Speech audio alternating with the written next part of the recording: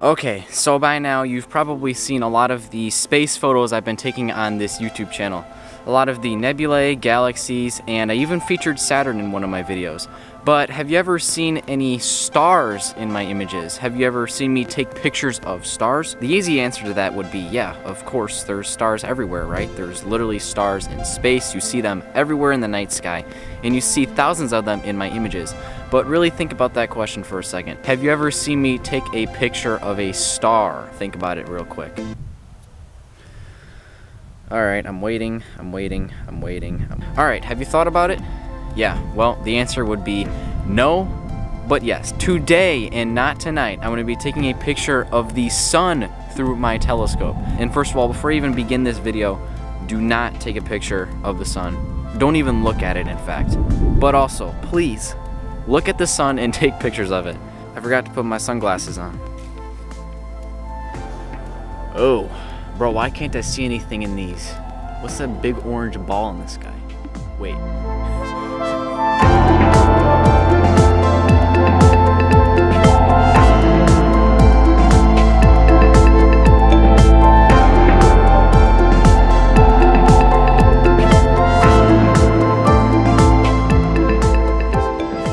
Boy, it is tough to find shade out here. All right, you guys, welcome back. And we are here and we are here for a different kind of video. This is a video that I was not really expecting to do until last month where I didn't really have a lot of clear skies. So today I'm gonna be taking a picture of the sun in broad daylight. Yeah, that sounds a little bit crazy, doesn't it? I mean, you would kind of expect it to be hard to take a picture of the sun, right? I mean, it's so bright, and you could damage your eyes just taking a look at it. And through a telescope looking at it, it's even worse. And before I even start this video, I want to make this really blatantly honest. Be extremely careful when taking a picture or looking at the sun and I mean this with 100% honesty. Taking a look at the sun without a solar filter or the proper eyewear can cause permanent damage to your eyes and or your camera. If you look at the sun without a solar filter, you will permanently damage your eyes and you will become blind. If you take a picture of the sun with your camera without any proper solar gear, you will also melt your camera. So be extremely careful and use protective gear when taking a picture of the sun. Alright, well now that that's out of the way, let's get rolling. Okay, so first of all, you're probably wondering how did an astrophotographer like myself just be like, you know what, I'm gonna switch from taking pictures of things in the night to taking pictures in broad daylight. How is that even possible? Well, it is very possible and a lot of people do it. To take a picture of the sun, I'm going to be using my homemade solar filter, which is right here. here. I designed this by myself off of a YouTube video, and it actually works really, really well. The idea behind these solar filters is to block out a lot of that sunlight almost well over 90% of the sun's sunlight so that you don't damage your eyes or your camera gear, making it safe to observe and photograph the sun. A lot of people do this during solar eclipses especially, and recently there was a solar eclipse last month. I think it was sometime around like October 13th, 14th. And uh, yeah, it was clouded out, so I couldn't take a picture of it, so don't mention it don't mention. I'm still really mad about it. But we are hoping for the April total solar eclipse, so... But it makes it extremely capable of taking some amazing pictures of the sun. There's really two forms of taking pictures of the sun that you might want to learn about before you start taking a dive into solar photography. The first form of solar photography, which is the solar photography that I'm going to be doing today, is called white light solar photography. This involves using a solar filter and only a solar filter to look at the sun in some detail. Why did I say some detail? Well, once I start talking about the other type of solar photography, you'll understand. Doing white light solar photography allows you to view the sun's chromosphere, and this is basically viewing the sun in all natural light. You're viewing the sun as if you were to look at it with your eyes, and if your eyes were able to see what the sun is. But because our eyes can't see technically all wavelengths of light, or even separate ones, kind of like how we can't see a lot of nebulae in space, this follows the same general rule, and we can't see a lot of other details on the sun. But we still can see some pretty crazy stuff, like sunspots, and sunspots are little dark patches on the sun I'm not really sure what those are in specific because I kind of just started solar photography, but they are really cool to photograph and they do kind of pop out like just out of nowhere. You can also see a lot of the weird little shapes of, I guess, you can also see a lot of the weird shapes of the chromosphere on the sun. So the sun so the sun isn't really just a giant orange or yellow ball, there's actually some really interesting stuff on there. Visibly just on the surface of the sun during white light solar photography, you can see a lot of the, it almost looks like ripples and little cracks in the sun that look really cool when you're stacking your pictures, kind of like how you take pictures of the planets. The other type of solar photography is narrowband solar photography. You remember that word narrowband, right? Yeah, it's a pretty good name.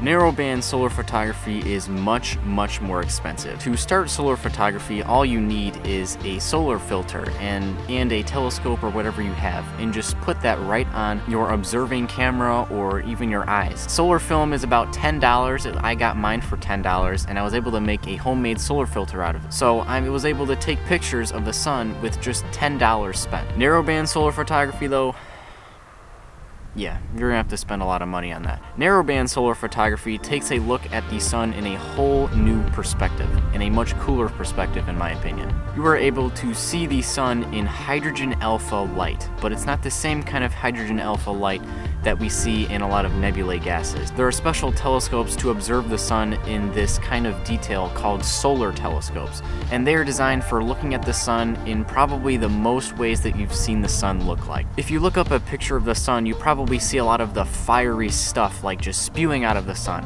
and that is exactly what narrowband solar photography can get you. Even visually, you can look at the sun in this kind of detail when you separate the natural light emitted by the sun with that real tiny narrowband light. That narrowband light will be able to allow you to see some crazy stuff on the sun. You'll see a lot of solar storms, solar explosions, all this fiery volcanic looking stuff on the sun and it really gets me excited for no reason because I don't have a solar telescope. We call a lot of these solar events on the sun solar prominences, and that is really what we are taking a picture of if something big happens on the sun. So now that we know that there's two forms of solar photography, make sure you decide which solar photography is best for you. I would start with white light solar photography in case you don't really like taking pictures of the sun first, and so you don't waste a lot of money jumping into the more expensive narrowband solar photography. So you guys probably remember this little guy. Yeah, this is the Optolong L Enhance, and this is a narrowband filter. So really remember that name, narrowband. Why can't I just use this filter to take a look at the sun in narrowband? Well, it's really different. So you can toss this dude goodbye. Don't ever do that with your filter. That was just for the video. But the sun needs a even more narrow filter than what you would use for most night sky observing and imaging filters so that you can't really use a narrowband filter to take a picture of the sun. You need to have special solar narrowband filters or have a really narrow narrowband filter. So sadly my filter is too wide enough and I can't see a lot of those solar prominences with my filter but you can see them with the solar telescopes that have built-in narrowband filters designed for looking at the sun in that really insane looking detail. Alright, so now that we've talked about the different kind of styles of taking a picture of the sun, I'm going to show you guys how I get my stuff set up for taking pictures of the sun. But before I do that, let's talk about the game plan. So the game plan is going to be taking a video of the sun just like I do with planets. And this is going to be the same exact rule take really long videos. I mean, I guess not really long, but the goal is to take three minute videos of the sun because the sun also rotates really quickly. And what I'm going to do is I'm going to stack all of those pictures together just like I do with the planets and then sharpen it up and we're going to have a really good image of the sun. At least I'm hoping so. If things go south and my camera melts, then that would be completely on me because I need to make sure that I have everything completely covered on my solar filter because sometimes bad things can happen if you don't. So we're going to be taking some really safe procedures and measures before I take a picture of the sun. If all goes wrong, I'm just going to quit astrophotography and never do it ever again. Alright, so that's the game plan, so let's get rolling.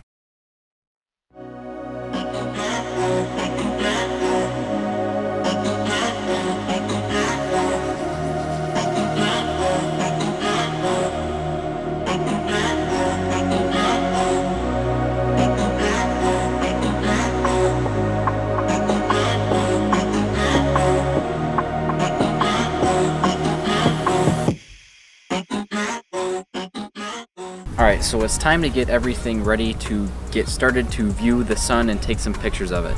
So the first thing that I'm going to do is I'm going to take my cameras off. And this is just to make sure that I don't damage my cameras when checking my solar filter to make sure that everything's fine. So I'm just going to set these over here. Alright, now that those are off, I'm going to take my guide scope off.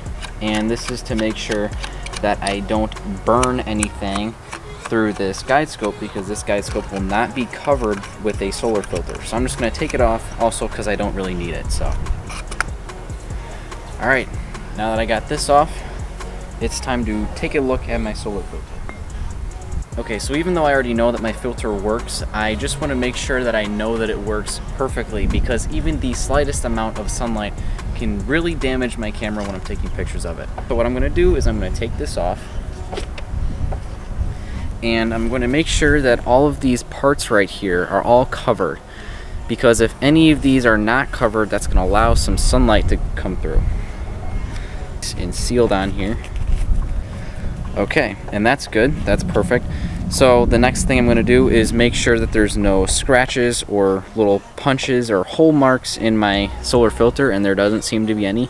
Then because if there was then that would allow some sunlight to come through and we do not want that. I'm pretty sure that everything's looking nice and good so now what I'm going to do is I'm to put this on the front of my telescope. You want to make sure that you don't have a solar filter inside your telescope because that will not protect your camera gear from the sun. It works best when it's on the front of the telescope like this. Alright, so the next thing I'm going to do is I'm going to open up my laptop and get the software going and start getting everything plugged in, especially the mount.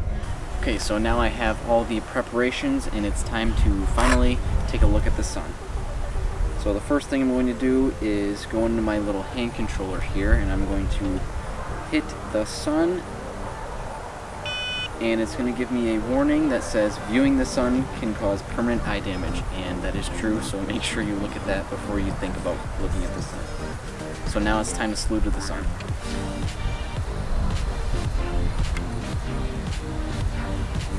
Yeah, this is the long part. Looking at my telescope just slew, it kind of takes a while. So the next thing that I'm going to do, and I will show this separately, is I'm going to hold my hands out at the back of the telescope. And this is to make sure that my solar filter is working when it's looking at the sun and there's no reflections or there's not any light passing through.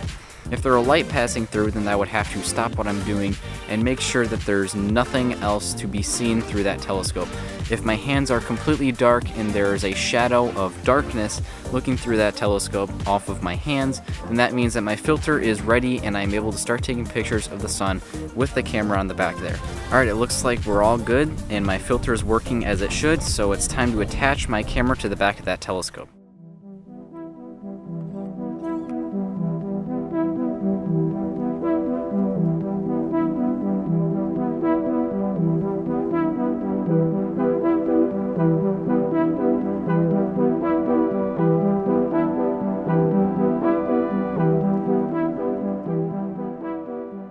Alright, so my game plan seemed to work out perfectly. We are taking videos of the sun right now, and everything is going perfectly fine, so the game plan let's go. So as soon as I'm done getting these videos, I'm going to put them into my stacking software and then sharpen them up and then we're gonna see those sunspots in some really good detail. I'm super excited to see what is on the sun today and there's a website that I use that's by NASA that takes images of the sun daily and it shows you all of the cool little sunspots and stuff that you could see any day if you ever want to know what's on the sun. So luckily there is a sunspot or two on the sun right now and that is just enough for me to get some good images of the sun today. So with all that out of the way, I am super excited to share you guys my image of the sun that I was able to get today and not tonight. So now it's time to show you guys that. It's been a pleasure and I will see you guys on the next clear night or day or the next clear day.